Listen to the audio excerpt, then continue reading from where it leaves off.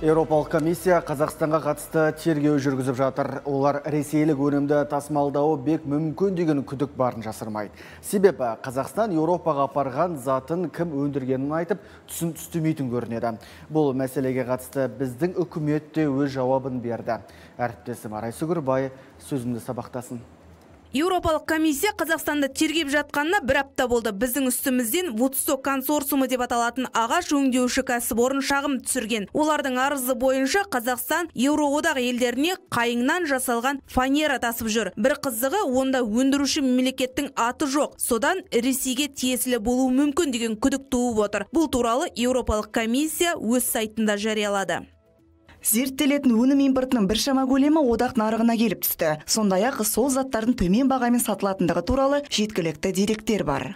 Дәл сондай фанераларды Қазақстаннан бөлек Түркияда тасымалдауда. Түріктер де апарған затын отандық өнім деп айтуға ауыздар бармайды екен. Негізі Еуропалық одақ 2022 жылы шілдеден бастап ресейлік ағаш өңдеу кешенінің барлық өнімдерін, соның ішінде фанерді әкелуге тыйым салды. Егер дерек расталса, онда Қазақстанның санкцияға ілігуі мүмкін. Алайда сыртқы істер министрлігі сабырға шақырғандай болды.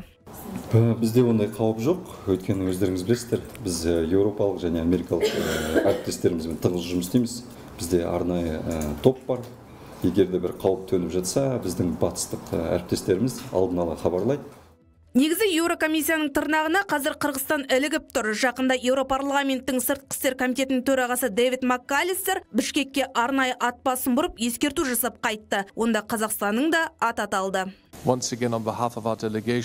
Қазір Еуропалық одақтың 27 мемлекеті орталық Азия елдері үшін республикадан тыс санкцияланған тауарларды жеткізуге қатысты ықтимал шектеулер мәселесін қарастыруда. Бұл процесс ұзақ және бұл шаралардың қандай болатынын нақты айта алмаймын. Бірақ біз кез келген геосаяси нюанстарды ескереміз.